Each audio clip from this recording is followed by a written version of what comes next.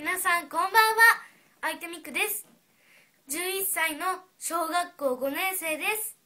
みくの家族はおじいちゃんとおばあちゃんとお父さんとお母さんとお姉ちゃんとそれからみくの6人家族です。愛犬のモアも一緒に住んでいます。みくは歌やダンスやお芝居をしたりすることが大好きです。今そのお勉強やいろいろなことにチャレンジしています。舞台やライブに出ることが決まったらミクチャンネルで告知いたしますのでその時は皆さんぜひぜひミクに会いに来てくださいね。皆さんに会えることを楽しみにしています。これからも精一杯頑張りますので応援よろしくお願いします。ミッキーリンリン。